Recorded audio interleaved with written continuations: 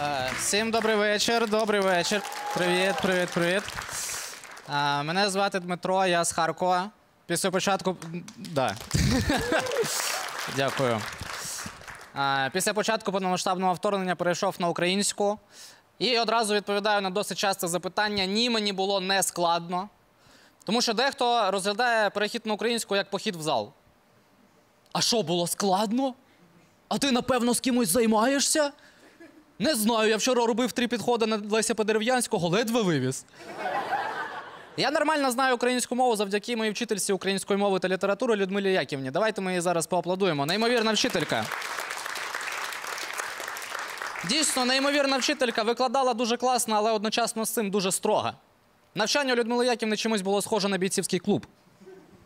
Не в плані, що перед кожним уроком вона така: перше правило української літератури нема ніякої літератури. Знаєте, така вчителька, яка замість двійок просто б'є тобі в челюху одразу. Ні, схоже на бійцівський клуб, тому що ти 6 років навчаєшся у неї, ненавидиш її, потім гарно здаєш ЗНО і такий, а, ось що ти насправді мала на увазі. Неймовірна вчителька, дуже класна, але строга. Е, кожен клас, який у неї навчався, вона розсаджувала по-своєму, як вона хотіла. Її тактика полягала в тому, щоб розсаджувати друзів десь за 2 кілометри один від одного. Ми на її уроках завжди по різним школам сиділи, прикиньте. Я так далеко сидів від своїх друзів, що з деякими навіть переставав спілкуватися після уроку. Стосунки на відстані це складно, народ. І вона ніколи не уходила з класу. Ніколи не уходила з класу. Навіть, навіть коли її кликали вчителі, вона стояла чисто на переході до нас спиною і така: Я все бачу. Я завжди думав, ти хто взагалі? Ти кажан, у тебе халакаторний зір чи що? Я тепер зрозумів, чому вона завжди казала, я через ваші контрольні ночами не сплю. Ну так може не перевіряй їх до ногами. Сядь нормально.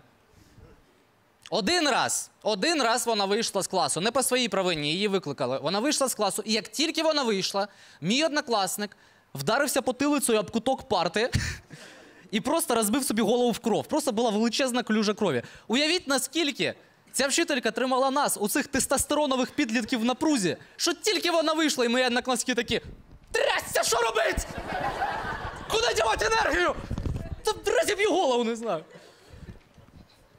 І я думаю, що коли ти вчитель, і якщо на твоєму уроці дитина розбиває голову в кров, це досить страшно. І дійсно, коли Людмила Яківна зайшла в клас і побачила всю цю картину, по її обличчю було видно, що вона трохи злякалась. Але це було ніщо в порівнянні з тим, як злякався той пацан. Заходить Людмила Яківна, він такий, да все нормально. Я трошечки не притомнюю, але взагалі все чітко. Я можу. Треба вірш? Я розкажу вірш. Без проблем. Зараз. А, мені 13 минало, я бився головою об стіл. Що так, сонечко сіяло, чи може просто я деб...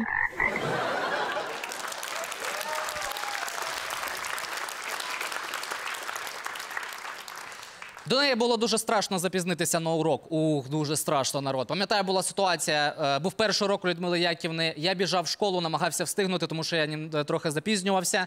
Була неприємна погода, кінець зими, початок весни, лід, слякать, калюжі. Знаєте, оця погода, коли собак не вигулюють, але дітей в школу, пожалуйста. Я біжу в школу, намагаюся встигнути на урок. Я перестрибую калюжу, підсковзуюсь і падаю дупою прямо в центр калюжі. Прям в центр, повністю промок, всі штані мокрі, весь мокрий, ну реально глибока калюжа. Реально глибока калюжа. Настільки глибока, що іноді туди хлопці ставали по пояс чисто подзюрити. Ну. Настільки глибока поруч була тарзанка, прикиньте, я вам серйозно кажу. Я коли туди падав, я дупою аквалангіста зачепив. Ну серйозно. Що я вам брехать буду? Повністю промок, весь мокрий, штані мокрі, куртка мокра. І звичайно, я не пішов додому міняти штани. Я пішов на урок до Людмили Яківни і просидів так 45 хвилин, тому що нічого пропускати її уроки. Я. Дякую. В цілому мені подобається розмовляти українською, все класно. Мій найулюбленіший момент в переході на українську мову е, це те, що я нарешті зміг розслабити зі своїм шоканням і геканням. Їх ніби легалізували. Тепер можна не гекати в телеграм-каналах. Це можна робити публічно, це круто. Тому що раніше я цього соромився. Я завжди намагався казати не ге, а ге, завжди міняв ге на ге. Але ну, з словом що важче, ви розумієте. Слово що вшивається українським дітям при народженні в мозок. Це цього складно позбавитись. Але завжди ге я намагався замінити на ге. Але коли я перейшов на українську, ребята, це такий кайф. Я ніби зняв шкіряні штани після сауни. О, грудень. Гомілка! Горобець! Ох, хорошо! Хорошо.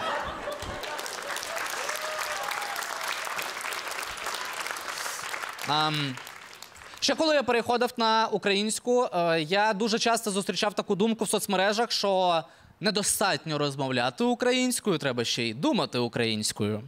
І нещодавно мені моя дівчина е, сказала, що я у вісні розмовляю українською.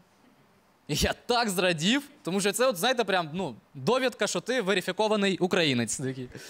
Клас. Я після цього думав, що мені в дії якесь сповіщення прийде, що я якусь ачівку відкрив, тип того. Чесно, я так засмучуюсь, коли я чую від російськомовних українців фразу Я не хочу переходити на українську принципово, тому що відчуваю якийсь тиск на собі з цього приводу. І я розумію, що перехід на українську це відповідальність кожного. Але чому б нам адекватно не посприяти цьому? Чому б нам не перестати кричати російськомовним в обличчя Чого на державною? Чому б нам не зробити це легше, з підтримкою, з розумінням? Підійдіть і скажіть: ну реально, ну чого на державною? Іди сюди, давай поспілкуємось про це. Іди сюди, давай руку, іди сюди, іди сюди. Всі проблеми вони йдуть з дитинства. Напевно, проблема в твоєму батьку. Скажи чесно, твій батько русня довбана. Твій батько що, дивився шарія? Ой, ти мій бідненький, іди сюди. Іди сюди. Я розумію, що лагідна українізація це складне питання, і, можливо, не на всіх вона подіє. На жаль, у нас досі є люди, які кричать: А чей ти я должен розмовляти нашим українським? Мене завжди забавляє цей аргумент про родичів, що у мене в сім'ї ніхто не розмовляв. Я думаю, ти взагалі не припускаєш варіанта, що твоя родина може помилятись. Але повертаючись до більш адекватних російськомовних, я вважаю, що їх треба в цьому питанні більше підтримувати, ніж засуджувати. Тому що не всім ці зміни даються легко. Не у всіх була така класна Людмила Яківна, як у мене. Насправді трохи кумедно, що я так багато сьогодні кажу приємних слів про перехід на українську мову. Хоча взяв ти мене буквально два роки тому. Ух, народ, я був взагалі іншою людиною. Два роки тому я бив себе руками груди і кричав: Я не перейду на українську! Це ущемлення!